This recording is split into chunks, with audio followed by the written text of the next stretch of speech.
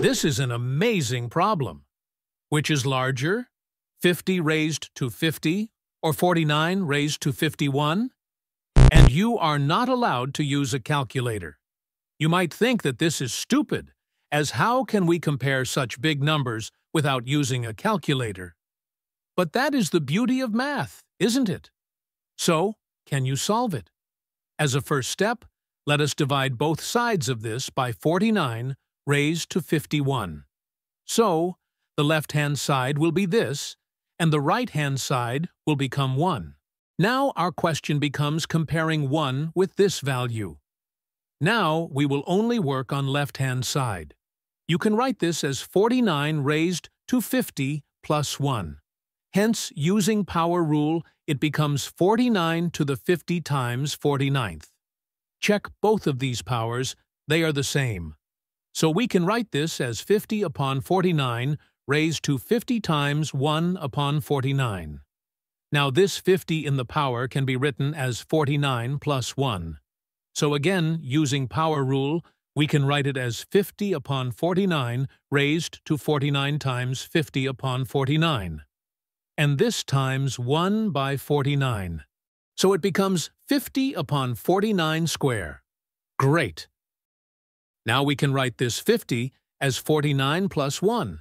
So this thing inside the bracket becomes 1 plus 1 upon 49, and then we have whole raised to 49. And this times 50 by 49 square. Awesome! If you notice this thing, it is of the form 1 plus 1 over n whole raised to n. Now you can see where I am going. You might have heard about the Euler's number e, which is nearly 2.718. Its definition is given by the limit of 1 plus 1 over n, whole raised to n, as n goes to infinity. What it means is, suppose you use n as 1, then this value becomes 1 plus 1 over 1 whole raised to 1, or it is 2. Then if you use n as 2, then this value becomes 2.25. Then if you use n equals 3, it becomes 1 plus 1 over 3 whole raised to 3, which is nearly 2.37. Now, this is the graph of the value of n on x-axis and the value of 1 plus 1 over n whole raised to n on y-axis.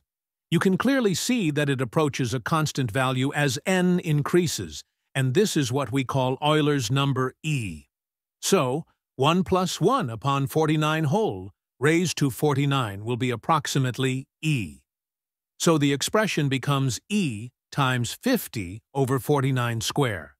As E is less than 3, so this value will be less than 3 times 50 over 49 square or 150 over 49 square. We have 13 square as 169, which is greater than 150. So this value will be less than 13 square over 49 square, or 13 over 49 whole square, which is way less than 1. Amazing! So our left-hand side is less than 1, which means 50 raised to 50 is less than 49, raised to 51. Isn't this cool?